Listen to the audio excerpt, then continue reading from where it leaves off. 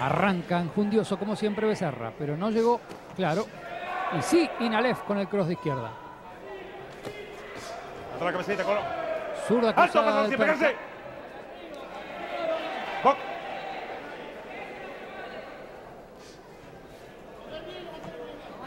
Amaga Becerra y recibe un derechazo ¡Alto, alto! tremendo y se cae. La contra de Inalef fue tremenda. Tres, Le cuesta cuatro, pararse a Becerra. cinco, La seis, cuenta va por seis. siete, ocho. Muy valiente el cordobés, se paró, pero está totalmente sentido. Va a definir Inalef. Cross de izquierda. Otro más. Se está acabando la pelea. El público anima a Becerra, que lejos de trabar, intenta pegar. Derecha de Inalef. Contragolpea a Becerra. Se encima mucho el de Bariloche por eso el rincón le pide que mantenga la distancia. Todavía sigue mareado Becerra. Está que se cae solo, pero lo ayuda al rincón. ¡Alto! ¡Alto! Lo empuja en el F, el Una, izquierda y viene la cuenta de dos, ascensión. Tres, cuatro, cinco, seis, siete, ocho. ¿Estamos bien? Sigue Becerra, Oh. Marcelo, ¿eh? como Una siempre. caída y una cuenta más y esto se acaba por el reglamento argentino. Becerra se la juega. Derecha de Inalef, izquierda de Inalef, pero Becerra se le va encima y el público aclama al cordobés. Es un valiente de aquellos. A eso es lo que nos tiene acostumbrados, aunque Inalef realmente ha castigado y muy, pero muy bien en este asalto. Ah, Inalef se confunde con la corneta que sonó en la popular. Derecha de Inalef. Está todavía muy sentido Becerra. Otra derecha del de Bariloche. Está Pero a Becerra le cuesta pararse porque está todavía mareado. Pero lo favorece justamente esto que hizo Inalef, ¿no? Busca el cuerpo No ahora. El campeón. Izquierda al cuerpo, izquierda a la cabeza y Becerra va al frente, aún mareado y atontado. El cordobés sentido, pero se la juega. Los ascendentes de Inalef llegaron al, a la cabeza de Becerra que lanzó una perca. Salió de la zona más peligrosa Becerra, veremos si llega al final del round, ¿no? Inalef con el cross, quedó en el camino. Se está terminando la segunda segundo. vuelta. Otra vez Inalef con la derecha. Estuvo a una caída de final la pelea. La derecha de Inalef, la campana final del segundo. Germán, 10 a 8 Inalef, 20 a 17 y medio. Gran superioridad del hombre de San Carlos de Bariloche en un asalto donde de milagro Becerra está sentadito en su rincón y puede seguir si es que así lo decide, como hasta el momento. Vamos a ver las reiteraciones. Excelente. La derecha la siente y mucho, después hay otra mano, pero esa derecha es la que hace perder prácticamente la vertical a Becerra. Después hay otro golpe, pero allí Becerra ya sabía que iba a quedar así, sentado y después acostado de la lona. Vinalef intentó, es cierto, terminar con el pleito. Hubo otro conteo, ahí lo vemos, pero no llegó a las tres caídas y Becerra, como nos tiene acostumbrados, guapea y ahora está saliendo a combatir el tercer asalto. de las 11 derrotas que tiene Becerra, como dijo Germán, solo una fue por nocaut.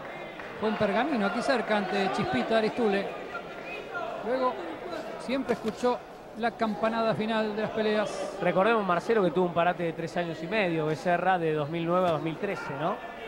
y cuando volvió fue permanentemente convocado por los promotores por esto, porque da espectáculo, porque asegura show, no especula, va al frente, aún en la desventaja física que tiene, Inalef lo deja venir y el público se entusiasma con la valentía del cordobés. Pese a que no pudo ganar desde que volvió porque tiene una carrera muy rara. Cuatro victorias en sus Alto. primeras cuatro peleas y después nunca más. Boc. El zurdo Inalef con el gancho. Trata de encerrar a Becerra. Se le escabulle el. Colorado. Trabajamos bien, limpio. Creo que está enfocado en un cruce. Inalef sabe que es superior, sabe que tiene más potencia. Lo deja venir a Becerra, que no deja de tirar golpes. Se planta con los dos pies en la misma línea. Cualquier toque lo puede desequilibrar el cordobés, que ahí recibe un cross de derecha. Zapateó Becerra, pero él sigue tirando. Amaga con la derecha, mete la izquierda. Totalmente heterodoxo. Ascendente de Becerra, cross. Inalef con el gancho de derecha, con un solo golpe. Simplifica todo el de Bariloche. Otra vez de contra, dos izquierdas que mueven la estructura. al ¡Alto, alto, alto! Becerra no acompaña los golpes con el cuerpo, Vamos, se la planta con los pies en línea recta, algo muy peligroso como marcaba Marcelo González. Y el Parque de Nalef necesita un golpe potente y, y tal vez caiga de vuelta Becerra. Metió otra vez el gancho de izquierda en Alef. Becerra está obligándolo a Vamos, sacar todo el repertorio al Perca. Derecha del cordobés llegando arriba. Busca el cuerpo el Colorado. Mete el ascendente derecha. Toca dos veces con la derecha también arriba. Mientras que Inalef coloca la zurda en contra. Y otra vez la izquierda. Cada vez que lo toca a fondo se mueve Becerra, pero lejos de amilanarse. Parece que los golpes lo agrandaron más. A Becerra, buena perca de Inalef. Becerra toquetea. Es más efectista que efectivo. Empujamos, trabajamos limpio. Ay, ese gancho de Inalef por poco no llegó. Y este sí llegó, pero Becerra va al frente y va al frente. Acumula Becerra. ¡Alto! Otra vez la palanca de Inalef. Madura el descuento de punto. Ahí viene uno. El público aplaude la decisión del referee. Bastante celoso el árbitro. Era la segunda vez Marcelo que lo hacía Inalef en el combate. Lo cierto es que era 19 para Inalef, pero con el descuento serán 29 a 26 y medio en favor del, favor del Perca que sigue siendo superior ante un Becerra que es un probador, un boxeador que va al frente. Ahí vemos es como si estuviese en el gimnasio calentando motores, porque esas manos no le hacen mella en el rostro ni en el cuerpo de Inalef. Lo cierto es que el Barilochente tampoco está pudiendo en este momento conmoverlo como se hizo en el segundo round donde le contaron dos veces al cordobés. Inalef tiene estas cosas a veces. Es un honesto trabajador del reino, un buen boxeador, pero incurre en, en algunas infracciones innecesarias. En este momento, cuando domina ampliamente, no necesitaba esa palanca. Vamos al cuarto y último asalto. Becerra de azul, Inalef de gris y negro.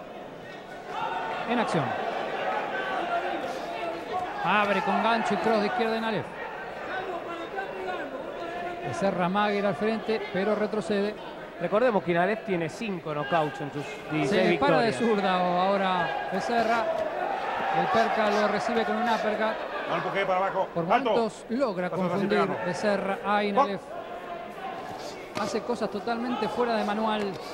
El cordobés que ahí recibe dos ganchos de izquierda, pero sigue yendo al frente. Es pegajoso como mosca en verano. Cross de izquierda de Inalef. Derecha de Inalef y va a la izquierda de Becerra que lo hace retroceder por primera vez. El de Bariloche. Y Becerra saluda a la gente y la gente se para en su lugar y lo ovaciona. Ah, el cruce que llegó en Alef, la izquierda otra vez del barilochense. Siempre es mejor, más preciso, más potente el Perca. Buen gancho de izquierda de Inalef. Becerra amarra el cross. Con diferentes combinaciones Inalef vuelve a ir al enfrente en este asalto, más allá del show de Becerra, no con la gente. Juega con la gente Becerra. Inalef busca la definición. Quedó de espaldas Inalef. Amagó Becerra a pegarle, pero se frenó. Cambia de guardia otra vez y en el cambio recibió un derechazo en plena boca. Becerra y otra vez toca de izquierda Inalef. Gancho y derecha en cross de Inalef. Las manos las siente Becerra, pero él se alimenta a golpes y va. ¡Alto! Quedó por debajo. Inalef sigue haciendo morisquetas con el público. El Colorado No, no, nunca no. Que ahí llegó con Otra vez. dos una derecha, una izquierda, pero no lo conmueve Inalef. Toca Inalef. El retrocedo lo deja venir el cabezón. Un Colorado que recibe el de izquierda y otro gancho de derecha, pero mientras Becerra toquetea en, en los hombros y en la cabeza sin hacer mella alguna. Falló ahí en el cruce una tocamos. derecha recta. El Vamos, del público. Cada vez que Becerra se acerca, está parado con los dos pies juntos. Es Sí. increíble, ¿no? Pero el Inalef no puede aprovecharlo. Toca Inalef de contra. Becerra es efectista, insisto. Y el público lo ovaciona. Y cuando den a conocer las tarjetas que le den la victoria a Inalef van a silbar. Abrimos, chicos. Si es que llega, por supuesto. Parece que sí, porque segundo, estamos en los últimos segundos. Vamos. El Perca con la derecha del cuerpo. Gancho de Inalef. Se la juega Becerra al final. ¡Gato! El cross de zurda del bailochense. Terminó la pelea a cuatro asaltos intensos. El Perca Inalef muy superior para nosotros. Pero Becerra, una vez más, se gana al público de Junín. 39 para Inalef, 36 para Becerra. Recordemos que ya está el punto de descuento para el Perca. Esto fue en el anteúltimo asalto. Vemos todo, la postal de la pelea. Becerra tirando muchos golpes, no logrando conmover prácticamente nunca a su rival. Inalef entrando en la desprolijidad de Becerra en algunos momentos, pero por sobre todas las cosas en el segundo asalto, donde lo tuvo al cordobés al borde del knockout, fue superior en la totalidad del combate. Es cierto, tal vez esperábamos alguna definición categórica por un lado, pero por otro Becerra es muy duro, durísimo, durísimo. Tiene 11 derrotas, pero ya habíamos dicho que solo una de manera categórica. Aquí creemos que no hay ninguna duda. Pese a que el público indudablemente va a protestar la victoria de Inalef, pero más por cariño La que por otra cosa. de Becerra, ¿no? Ahí aplaude Becerra.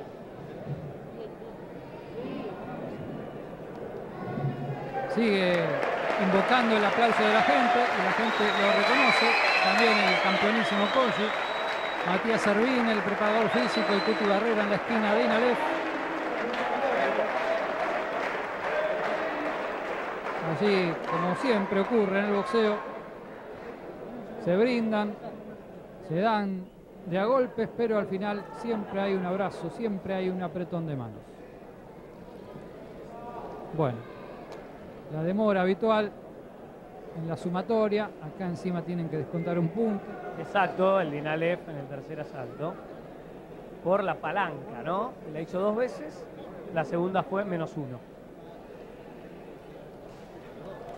Creo que el árbitro hizo caso a la gente y descontó el punto. Un poco tribunera esa decisión, en mi opinión. Vamos a la decisión, Peralta. Fallo de combate. Es decisión unánime. Tarjeta del señor Bainesman. 38 y medio a 36 y medio. Tarjeta del señor Hernández. 37 y medio a 36 y medio. Tarjeta del señor Cabalcabue. 38 y medio a 36 y medio en decisión unánime. Ganador por puntos. César, el Perca, Inale. Hay silbidos, hay abucheos, pero también hay aplausos como reconocimiento a una pelea interesante. Ganó Inalef, se dio la lógica. Ya venimos.